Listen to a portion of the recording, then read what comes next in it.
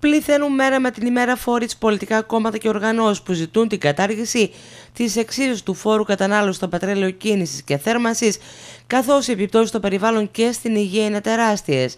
Μάλιστα, η Επιτροπή Υγείας του ΣΥΡΙΖΑ Ξάνθης εξέδωσε σκληρή ανακοίνωση με την οποία κατηγορεί ως υπεύθυνη την κυβέρνηση για την καταδίκη στα θάνατο των Ελλήνων από τοξικό νέφος και παγωνιά, ζητώντας παράλληλα να κυρωθεί σήμερα η αύξηση του ειδικού φόρου κατανάλωσης στο πετρέλαιο θέρμανσης και να επανέλθει η τιμή στα επίπεδα του 2010. Η πρόταση που κάνει ο ΣΥΡΙΖΑ είναι ότι το μέτρο της αύξησης του πετρελαίου απέτυχε.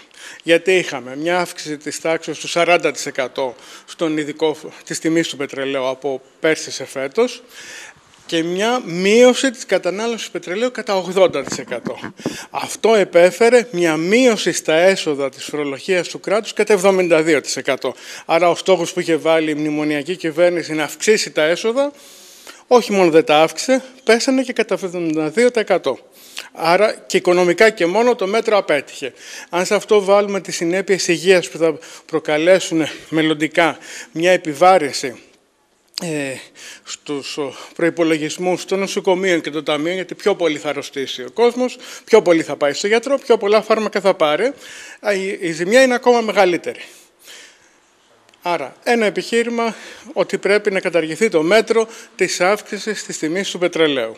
Το δεύτερο είναι ότι προκαλεί συνέπειες στην υγεία. Όμως ο χειμώνας τρέχει. Σήμερα κάνει κρύο. Η θερμοκρασία του πρωί ήταν 0 βαθμούς. Τώρα είναι 4 βαθμούς. Ο, ο κόσμος κρυώνει. Κάτι πρέπει να κάνει. Και αυτό που πρέπει να κάνει είναι να διεκδικήσει με αποφασιστικότητα τη μείωση της τιμής του πετρελαίου. Δεν είναι δυνατόν να καταδικάζουμε τον κόσμο είτε σε κρύο ή να τον καταδικάζουμε να εισπνέει τοξικές ουσίες.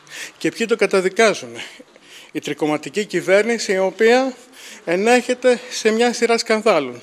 Τι είναι όμως το νέφο εθελομίχλη και πώς επηρεάζουν τον οργανισμό τα μικροσωματίδια τα οποία την αποτελούν; Αυτά είναι το φορτηγάκι τα οποία κουβαλά τις τοξικές ουσίες της ατμόσφαιρας, είτε εσωτερικής μέσα στο σπίτι μας, είτε εξωτερικής στο περιβάλλον, στον οργανισμό.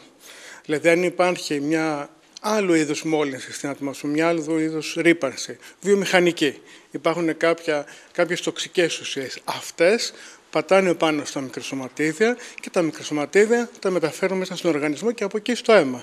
Και μπορεί να πάθεις, για παράδειγμα, δηλητηρίαση από μόλιβδο, χωρίς εμφανώς εσύ να έχεις έρθει σε επαφή με μόλιβδο. Αλλά τα μικροσωματίδια είναι που το βάζουν μέσα στον οργανισμό. Επίσης, όταν και με ένα κιλό ξύλα έχει μελετηθεί, αυτό είναι τεκμηριωμένο, παράγονται και διάφορες άλλες ουσίες, όπως βαρέα μέταλλα, ο μόλιβδος είναι μέσα σε αυτά, βενζόλιο και φενόλες είναι τοξικές ουσίες και οξύδια του θείου και του αζότου. Αυτά εισπνεώμενα προκαλούν ένα ισχυρό οξυδοτικό στρες στα κύτταρα του οργανισμού, αρχικά των πνευμόνων και έτσι η πρώτη άμεση συνέπεια αυτό που μπορεί εύκολα να μετρηθεί είναι η παρόξυνση όλων των ατόμων που έχουν βροχικό άσθμα.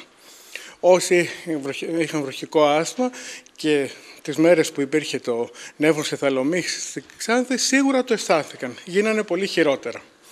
Αυτή είναι η άμεση συνέπεια. Από εκεί και έπειτα εισερχόμενα αυτά τα οξύδια ε, μέσα στον οργανισμό μεταφέρονται σε διάφορα όργανα και σε χρόνια εισπνοή τους προκαλούν βλάβες στα νεφρά, στο σηκώτη, στον εγκέφαλο.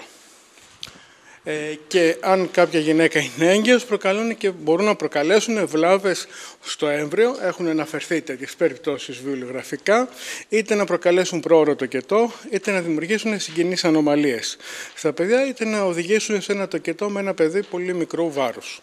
Οι πιο ευάλωτες ομάδες είναι ηλικιωμένοι και τα παιδιά, καθώς και όσοι αντιμετωπίζουν αναπνευστικά και καρδιοαγγειακά προβλήματα, ενώ η επιβάρηση είναι μεγαλύτερη στα αστικά κέντρα από ό,τι στην Ήπεθρο, η οποία είναι αεροκατοικημένη. Την ίδια στιγμή πάντως που ο επιστημονικός κόσμος και η Υπουργεία Υγείας και Περιβάλλοντος κρούν τον κόδωνα του κινδύνου, ο κύριος Τουράνας ξεκαθαρίζει πως δεν υπάρχουν περιθώρια ούτε για τη μείωση της τιμής του πετρελαίου θέρμανσης, ούτε για την επέκταση της χορήγησης του επιδόματος σε περισσότερους πολίτες.